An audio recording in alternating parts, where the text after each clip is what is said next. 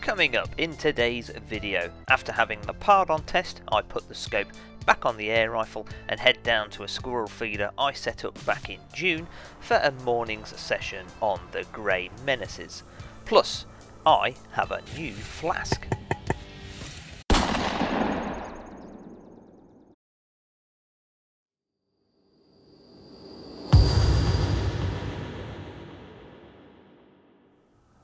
Hey guys, Today we're going to be shooting the squirrel feeder, although at the moment it's actually a week before I'm going to be shooting the squirrel feeder.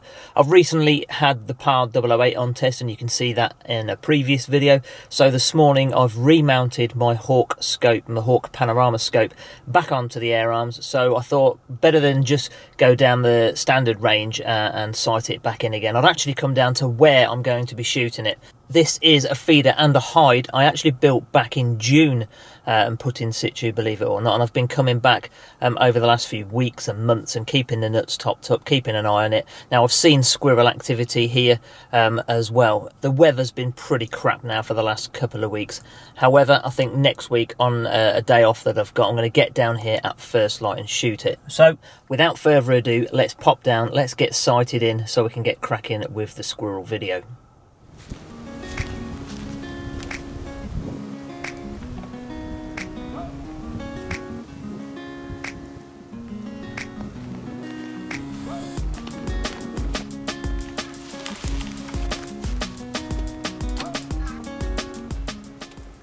Little shelf that I put in the hide ready for the bipod actually for this exact mission was a real handy little introduction.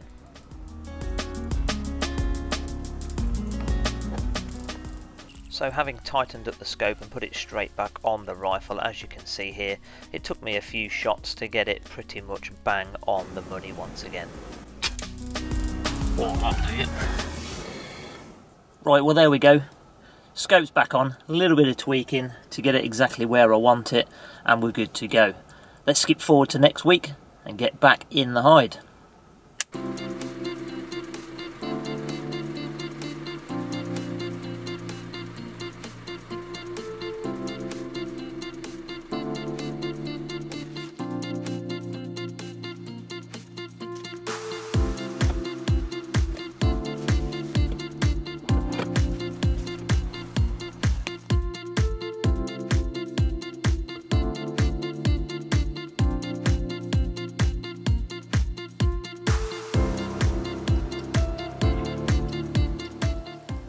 Just as the sun came up you can see it bathed the area in a glorious orange glow and just as I was taking in that beauty I noticed movement just behind the feeder tree.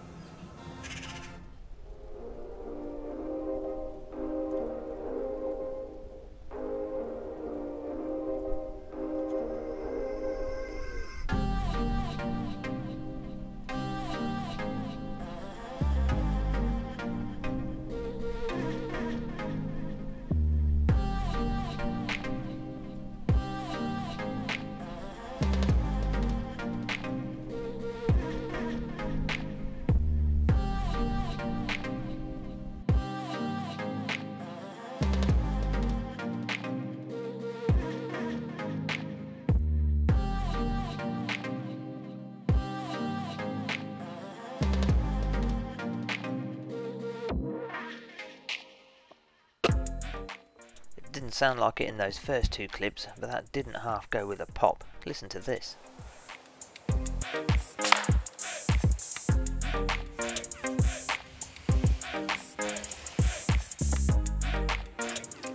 It was slow going before we actually got sight of squirrel number two. In fact, it was an hour and ten minutes later uh, that this one showed up. But it danced around on the tree in front of the feeder tree for quite some time before scurrying away and making its way up the branches.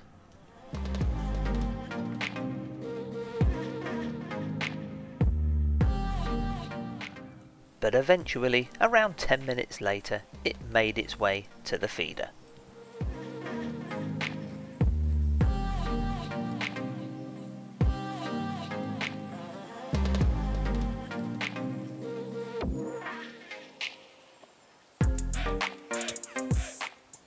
Just see there patiently waiting for his turn on the feeder, a beautiful looking woodpecker there on the cross branch.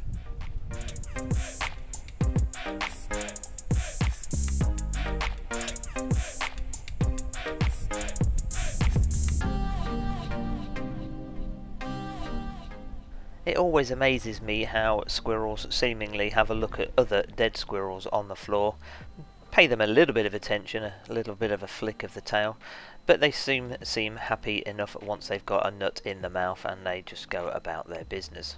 This one positioned itself in almost the exact same location as squirrel number one.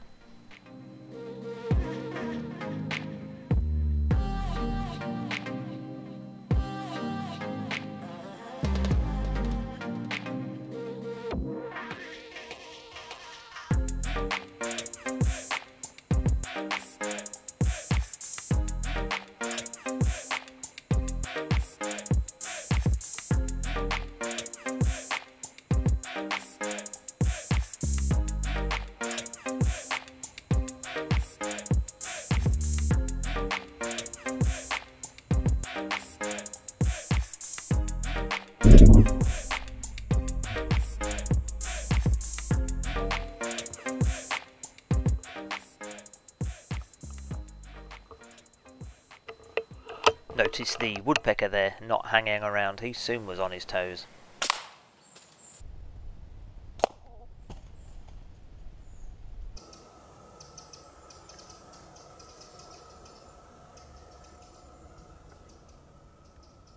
Well, if you're still watching this video, it means that the day went okay as far as I'm concerned. So, you'll be pleased to know I've also treated myself to a much sturdier flask this time. So if I drop it, it shouldn't smash because it's a stainless steel one. That said, I reckon it's about time we cracked open that flask and had a brew.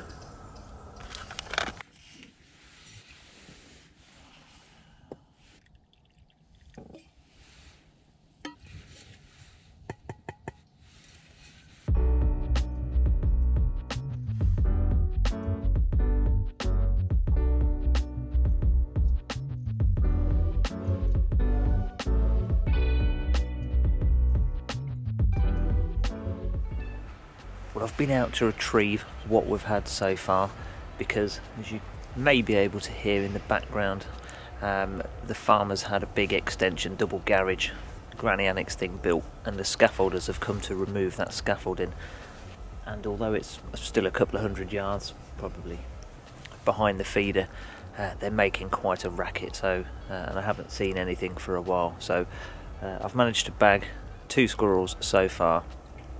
Um, I'm going to wait it out a little while longer just in case that third one pops back because I have seen three in total and I've also seen a jay bombing around from tree to tree as well so if that makes a return trip hopefully I can send that one crashing to the floor. The call of nature and the clanging of scaffolding poles uh, is enough for me to get out, stretch the legs and the back a little bit and I'll wait it out for another hour or so. Right. Well, let's answer that call of nature and get straight back into it.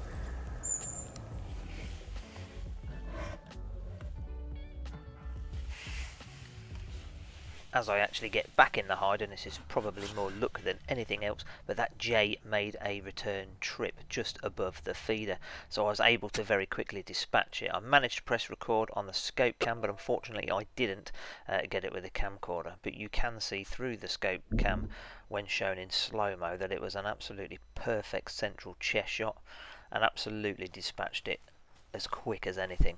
That's my first Jay that, first ever one in 20 years or more.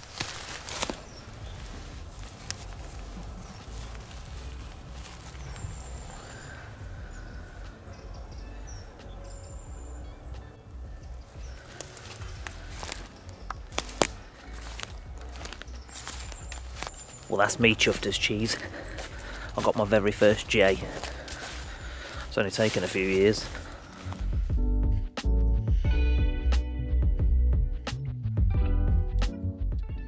I know that some people find it hard to understand, but sometimes I actually just love sitting there in the wilderness watching the vast array of wildlife go about its daily business. And I think it's also good if you are managing pests in a particular area that other species get to benefit uh, from it. As we watch the third squirrel of the day finally make its way into a shootable location.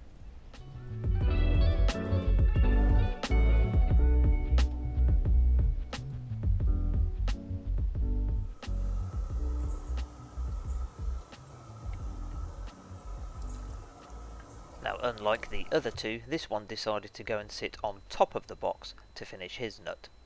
See ya.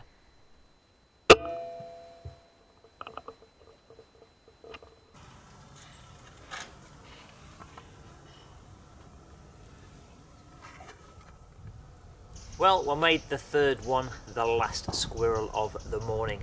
It wasn't the biggest bag in the world, but I did enjoy it here in the woods. And we've certainly done some good saving some of the native birds uh, because we were able to take this bonus jay as well. Hopefully I managed to capture that one through the scope cam. But we've got to head off because I've got to go and get some shopping and bits and bobs for dinner. And then later on this evening, I'm going out with a gamekeeper because I'm chasing my 100th fox for the year. Right. Thank you very much for watching. If you like what you saw, then please hit that subscribe button. For now though, take care, stay safe, and as always, happy shooting.